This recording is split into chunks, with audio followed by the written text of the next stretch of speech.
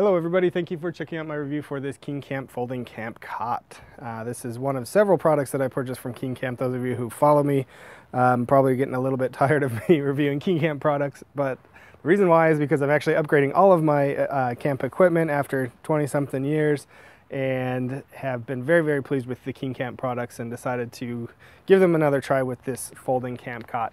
Um, I set out this just normal camp chair. This is like a typical folding camp chair, that pink one in front. Just so you can see the size um, compared to a normal camp chair, you can see that the cot actually really doesn't fold down all that much bigger than the, the uh, the chair itself. So it's really great because I'm used to those cots that you know that fold in half and they have the metal bars and they fold in half and they take a ton of space in your garage and a ton of space in your car when you're trying to, to transport them. Um, so this was actually a pretty uh, pretty big surprise actually when it came out of the box that this was all it was. Um, so let's get this out of the way and show you KingCamp. All right, so starting as I always do, starting with the bag itself. It's a very nice bag. It's a drawstring bag. You've got your cinch right there. Um, there's not really much to say about it. It's, it's, a, it's a sturdy bag. It has great straps right there. Um, and one of the things that I do like about it is the straps are actually double sewn. So if you can see that, there it is. So if you can see that, it's sewn on both sides uh, to help it prevent from actually just unraveling. So KingCamp pays a lot of attention to detail, and that's what I've really liked about their products. And I'll show you something else here in a second with the cot. So to get it out, obviously, you just loosen up your strap, slide the cot out. Before I set it up, I want to show you one more thing that I just think is really great um, because, again, KingCamp pays attention to their details. So uh, it has the strap right here to, un to undo it, to hold it in place. That's really not what I was going to show you, although that is cool. Uh, what I wanted to show you were, were these little straps right here that go across to some of the support legs. Let's see if I can make sure that that's in there. All right, so these straps here, really cool extra feature. They have the, the elastic, but the straps are screwed in place here, so it's not gonna slide or come off.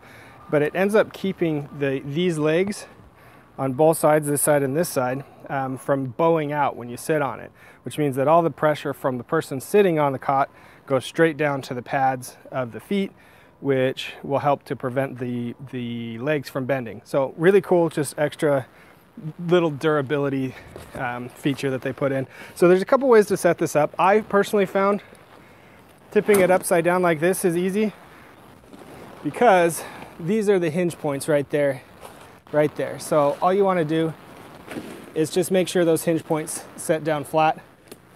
And you can obviously do this from the other side, but I really want to just show you that that's, that's how it is. So you just push down so the, those hinge points kind of snap into place and you're done.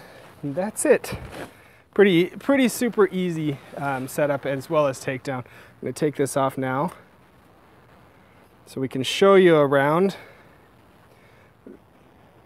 This is the, the cot. One thing that I thought was really cool is it actually elevates your head a little bit. You can see not a lot, but I don't take a really big pillow with me camping. And so this being elevated actually helped me to be able to sleep on my side, which was awesome because I don't normally get to do that in a camp or in a cot. So this is the support beam. Um, I was a little worried about the comfort of it because it looks from the pictures like these support beams go down the middle, but they don't. You can see underneath there's nothing in the middle which makes it almost like a hammock.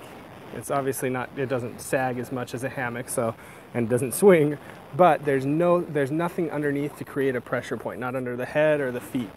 Um, the other thing that I really like is it's longer than my other cots because I'm kind of a taller guy. Um, I'm about 6'1", and what I would run into is my feet would hang off the edge, which wouldn't be a big deal, except um, the other the other style of cots has a big metal bar running right here. So then my foot would be on that metal bar all night, not super comfortable.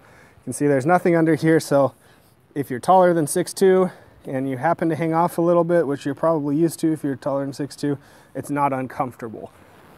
Says it can support 220 pounds. Um, honestly, I, am 100% positive it can support more than that. I think they're just trying to, to uh, give a give a conservative estimate because I'm about 215 and I can fit on it just fine. Nothing bows, nothing creaks, and it works great. So all in all, I think that KingCamp knocked this one out of the park again. Very, very pleased with it, and I give this a solid five stars.